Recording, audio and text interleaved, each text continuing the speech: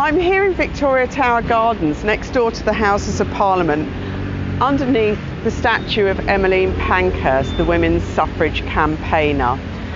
Emmeline Pankhurst was born in 1858 on the 15th of July, though she regularly celebrated her birthday on Bastille Day, the 14th of July, clearly identifying herself with the French revolutionaries.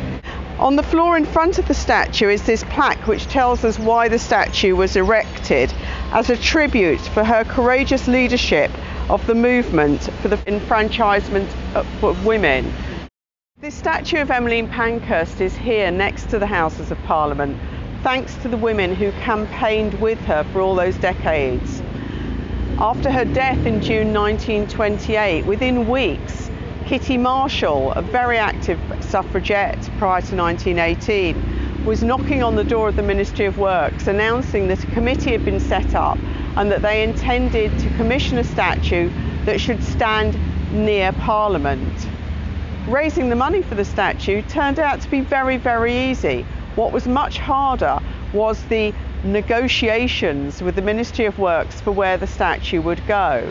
However, eventually they got a site in the middle of Victoria Tower Gardens.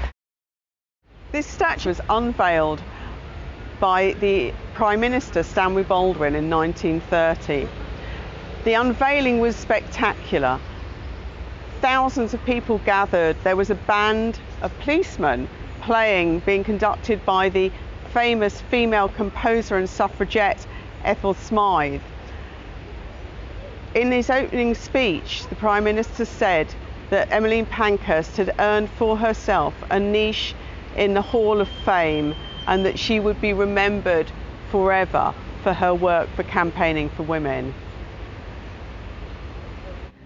The statue, I think, shows her looking rather genteel and respectable. And although she was a respectable woman, she had gritty determination and a huge amount of strength to campaign for many, many years for women's suffrage. And I think the artist, Arthur Walker, has perhaps, whilst capturing her physically, not really got to grips with her personality. In 1950s, um, Victoria Tower Gardens was redesigned and the statue of Emmeline Pankhurst, which had originally stood in the middle, was going to be consigned to the far end. Once again, the women who were still alive, though very elderly, who had campaigned with Emmeline Pankhurst, had to fight to have the statue put in a better position.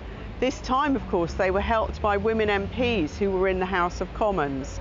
And eventually, this site here was secured and the statue was once again rededicated. So now Emmeline Pankhurst is right next door to the Houses of Parliament where of course she campaigned regularly to improve women's voting and democratic rights.